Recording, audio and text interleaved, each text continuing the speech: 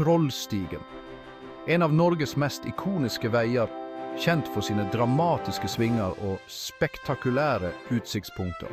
Bare navnet får deg til å tenke på norsk natur på sitt aller villeste. Det er et sted hvor fjellene møter himmelen, og hvor naturens rå kraft er tydelig til stede.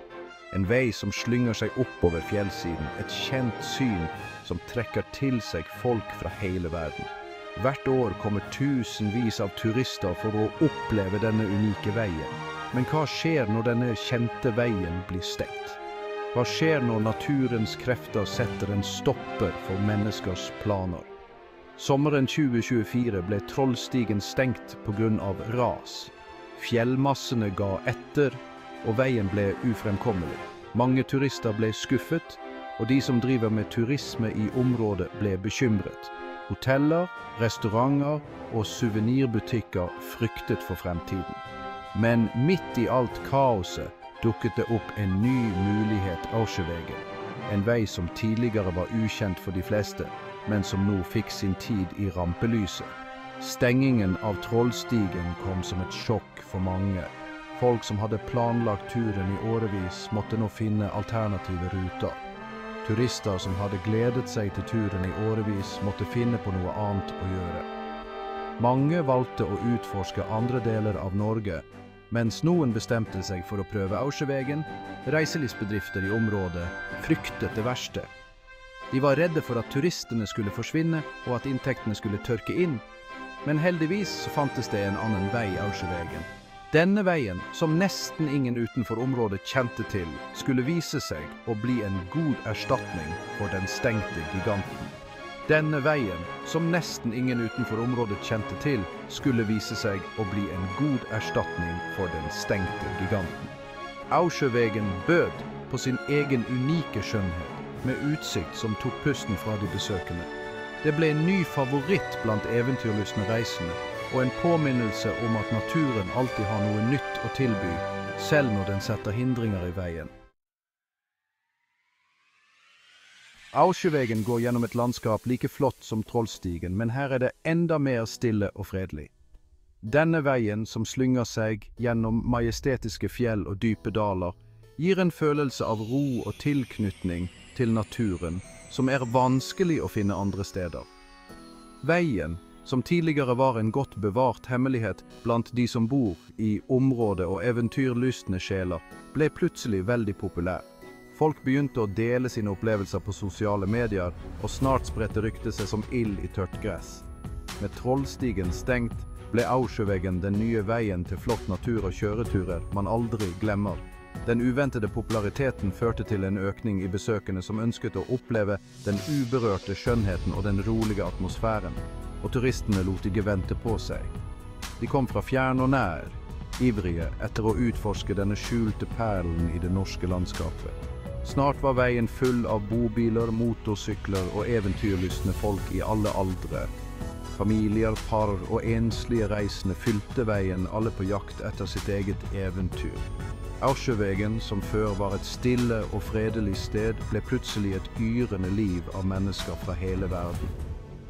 Den tidligere skjulte veien ble et symbol på oppdagelse og eventyr, og minnet oss alle på at noen ganger er de beste opplevelsene de som er litt utenfor allfarvei. Aursjøvegen er ikke for pingla. Med sine smale veier, krappe svinger og bratte bakker får den hjertet til å pumpe litt ekstra.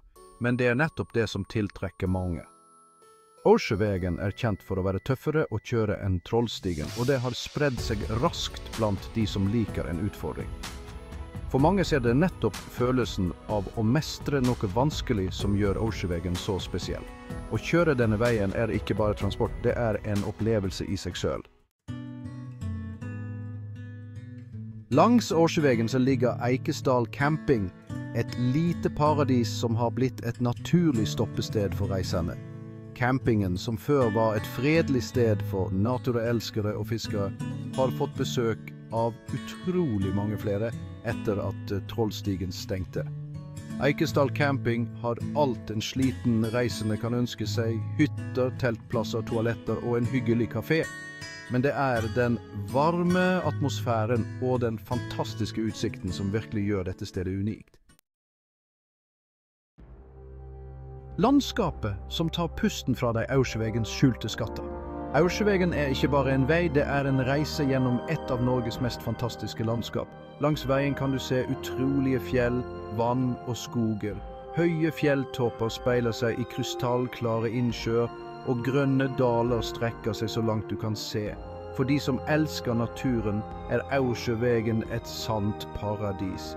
Her kan du gå tur i timevis uten å møte et eneste menneske, fiske ørre i idylliske fjellvann, eller bare nyte stillheten og roen.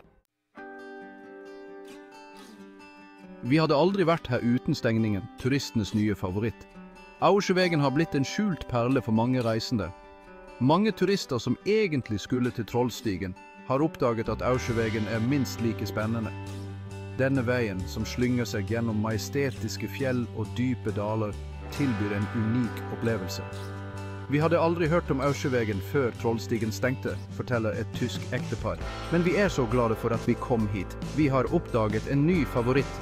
Naturen er helt utrolig, og det er en helt annen stemning her enn på de mer kjente turistrutene, sier de. Det er roligere, mer avslappende, og vi føler oss virkelig i ett med naturen. Aursjøvegen tilbyr en mer ekte og mindre turistifisert opplevelse enn Trollstigen. Her kan man virkelig komme tett på naturen og oppleve den norske fjellheimen på sitt beste. Veien ser mindre trafikkert, noe som gir en følelse av eksklusivitet og fred.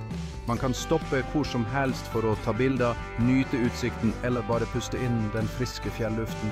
Aursjøvegen er virkelig en skjult skatt som nå blir oppdaget av flere og flere. For de som søker en autentisk naturopplevelse, er dette stedet å være. Her kan man virkelig oppleve den norske fjellheimen på sitt beste. Lokalsamfunnet på godt og vondt en ny realitet. At det kommer til flere turister har både positive og negative eh, sider for de som bor i området. På den ene siden har alle turistene gitt mer penger til den lokale økonomien. Bedrifter som Eikesdal camping har vokst mye, og det har blitt skapt nye jobber. På den annen side sliter den økte trafikken på den sårbare naturen, og noen lokale innbyggere frykter at alle turistene vil ødelegge roen og freden i området. Fra stille idyll til yrende Liv Eikesdals metamorfose Eikesdal, en liten bygd som før var veldig stille og rolig, har forandret seg mye etter at Aursjøvegen ble et populært turistmål. Bygda, som før var mest kjent for sin vakre natur og sitt rike dyreliv, har blitt et yrende sentrum for turister fra hele verden. Mens noen lokale innbyggere frykter at alle turistene vil ødelegge sjarmen til Eikesdal, ser andre på det som en mulighet til å skape vekst og utvikling i bygda. Bærekraftig turisme en balansegang. Utfordringen for lokalsamfunnet blir å finne en balanse mellom å tjene penger på turismen og samtidig bevare områdets unike natur og kultur. Bærekraftig turisme er løsningen for å sikre at Aursjøvegen og Eikesdal forblir attraktive reisemål også i fremtiden. Det er viktig å utvikle veier og fasiliteter for å håndtere alle turistene, samtidig som man må passe på at turismen ikke ødelegger miljøet. Veien videre Aursjøvegen etter Trollstigen. Hva skjer når Trollstigen åpner igjen? Vil Aursjøvegen bli glemt, eller vil den fortsette å tiltrekke seg turister? Det er umulig å si med sikkerhet, men én ting er sikkert Aursjøvegen har bevist at den er et fantastisk reisemål, og at den har mye å tilby eventyrlystne sjeler.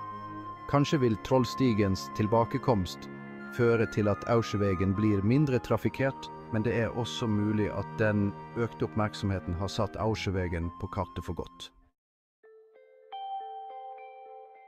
En oase for eventyrlystne, avsluttende tanker. Aursjøvegen er mer enn bare en vei.